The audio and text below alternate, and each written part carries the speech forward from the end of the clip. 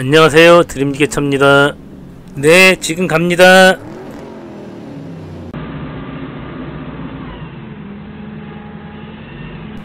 이곳은 우리 동네에서 제일 높은 곳입니다. 예전에도 한번 동영상에 등장했었죠? 옛날에 90년도에 여기 한강 자유로 현재 자유로가 들어선 곳이 한강하고 뚝이 있던 곳인데요. 그곳이 터지면서 능곡 지역이 완전 물바다가 됐었죠 그때도 이것만큼 무사했었어요. 그만큼 지대가 아주 높은 곳이에요. 여기 올라가 보면은 외곽순환도로도 보이고 제2자이로도 보이고 다 보입니다. 현재는 마리아 수녀회가 자리 잡고 있죠. 여기 공사하느라고 몇 년 했다는 거 지난번에 한번 얘기했었죠. 최초로 돈못 받았던 그 현장입니다 이 건물 뒤로 돌아가면은 조그맣게 뭐 하나 짓고 있어요. 그 빔에다가 판넬로 조립식으로 짓는 곳인데 오늘 뭐 철판 한 장 내린다 그래갖고 지금 가고 있습니다. 여기 이제 아스팔트 벗어나면은 비포장 도로예요.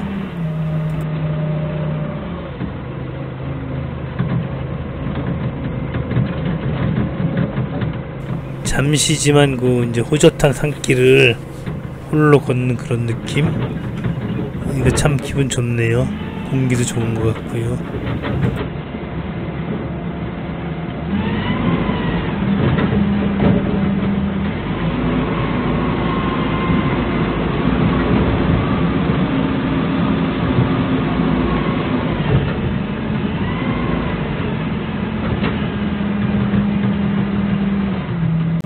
이런 짜투리 땅에도 알뜰하게 농사들을 짓고 계세요.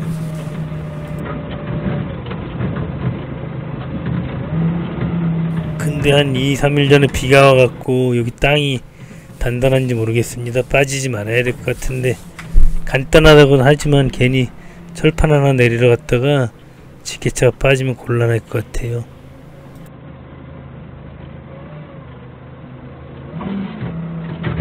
이제 여기서부터 저 건물인 데까지는 약간 비탈해졌어요. 그리고 현재 이 땅이 단단한 땅이 아니에요. 여기서는 지게차를 돌릴 수 없고 앞으로 뒤로 전후진만 할 수 있어요. 여기서 만약 지게차 돌리려다가는 지게차가 빠져버립니다. 일단 더 내려가기 전에 지게차 세워놓고 한번 가서 살펴봐야 될 것 같아요.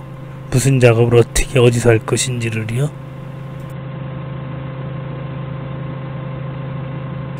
일단 작업은 간단합니다.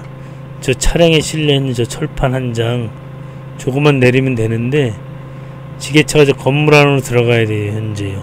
근데 지금 이 땅하고 건물가에 턱도 있고 또 여기 비탈이 져 있어갖고 땅이 단단하지가 않거든요.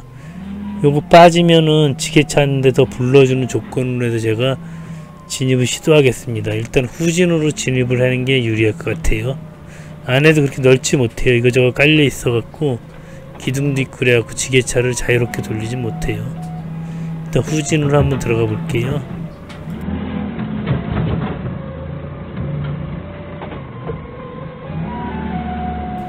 어쨌거나 지게차를 다시 불러준다고 하긴 했지만 그래도 안 빠지고 할 수 있는 게 최상 아닙니까?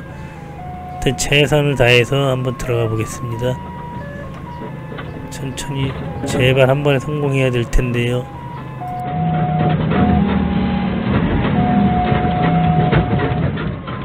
성공했다. 휴, 무사히 성공했네요. 이렇게만 되려면 뭐 이제 오늘 작업이 잘 될 것 같아요. 작업은 내용 간단하다 그랬죠? 철판 하나만 하차하면 됩니다. 그러니까 결과로 봤을 때는 그까지 철판 하나 내리는데 뭐 지게차가 비싸다고 생각할 수도 있어요. 그러나 이제 저희들은 엄청 조마조마한 거예요. 여기 들어오는 자체가 그 자체가 일보다도 더 심한 거예요. 저건 철판 내리는 건 일도 아니죠. 그리고 들어오고 나가는 게 가장 큰 일이에요. 이런 데서는. 지게차가 안 빠지고 들어온 순간 저분들은 6만원을 번 거고 저는 이제 시간을 번 거죠. 정말 여기서 한번 빠지면은 다른 지게차 올 때까지 기다려야 되죠. 또 그 지게차 또 지게차 요금 지불해야 되죠. 이런 게 엄청난 스트레스예요. 오늘은 이제 무사히 일이 잘 끝날 것 같아요. 저 차량의 위치를 지금 선정해 갖고 사라, 차량은 그냥 그대로 대각선으로만 들어오시면은 저는 이제 여기서 그대로 또 대각선으로 들어가서 저걸 떠서 오른쪽에 내려놓기만 하면 끝납니다. 그러나 그 내려놓는 게 다가 아니고 이제 또 나갈 일이 남은 거죠. 나갈 때도 무사히 나갈 수 있기만을 기대해 보겠습니다.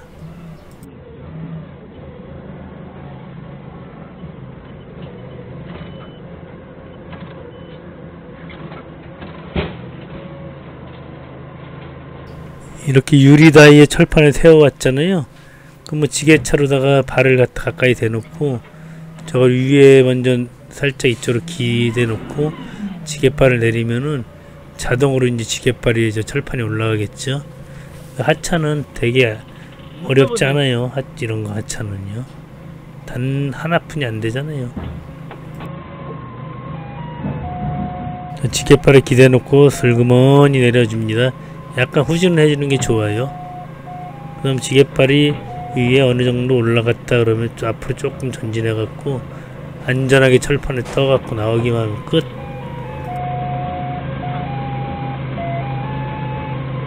자 이제 원하는 위치에 요거만 놔드리면 정말 끝이죠. 이 철판 하차하는 거 요거는 뭐 일도 아니죠. 들어가고 날아가고 그러는 게 여기서는 더 큰 일이었습니다. 주객이 전도됐죠. 실질적인 일보다는 들어가고 나가고 하는 게 더 큰 일이라는 거. 그거는 뭐 눈에 보이지도 않는 거죠. 저는 단지 다른 사람들이 생각할 때는 철판 하나 하차로 한 것 뿐이라고 생각할 뿐이겠죠. 뭐 결과도 그렇습니다. 발짝 붙일 거예요 어떻게? 일단 원하는 위치에 놓기 위해서 지금 삐뚤어진 철판을 똑바로 잡아줘야 돼요. 이거 바닥에 놓고 살짝 왼쪽에 밀어주면은 똑바로 붙을 것 같죠? 이게 똑바로 붙지 않으면은 일을 해도 된 것 같지 않아요. 일단 깔끔하게 각이 딱딱 맞춰서 놓는 게 최고 좋아요.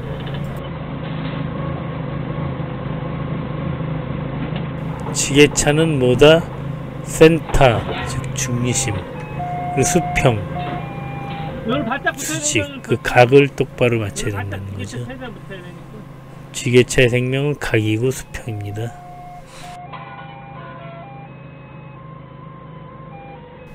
뭐 지금 이 철판을 여기다 왜 놓는지도 이유도 모르고 그냥 놓고 있습니다. 놓으라니까요. 일단 각을 딱 맞춰서 제 위치에 놔주는 겁니다. 요거만 놔주고 이제 나갈 일 걱정밖에 없어요. 빨리빨리 놓고 나가도록 할게요.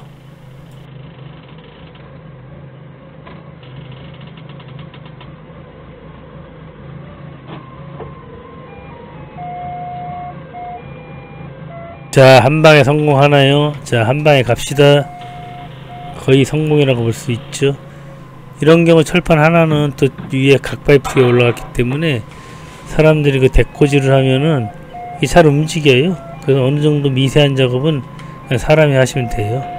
지게차로 하려다가 더 망칠 수가 있으니까요. 이런 거는 사람이 데코로 톡톡 맞춰 나가도록 하겠습니다.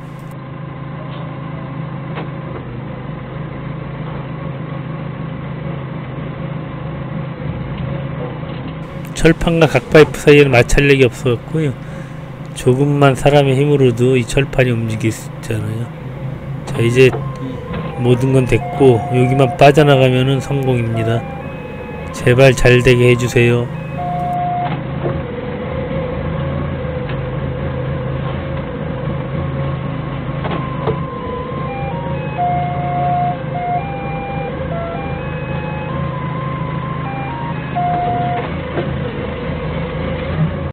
자, 한 번에 빠져나가야 됩니다. 제발 성공하게 해주세요. 이거 두 번 머뭇거리다가는 지게차가 빠질 수 있어요. 한 방에 부드럽게 빠져나갈게요.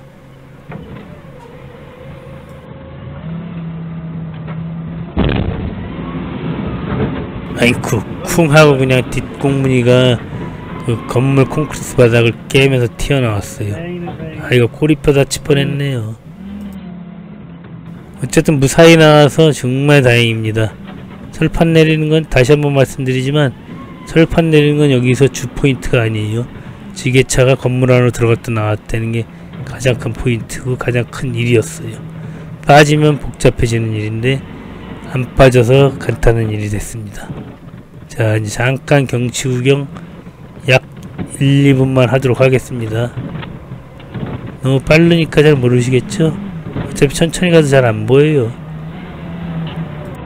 감사합니다.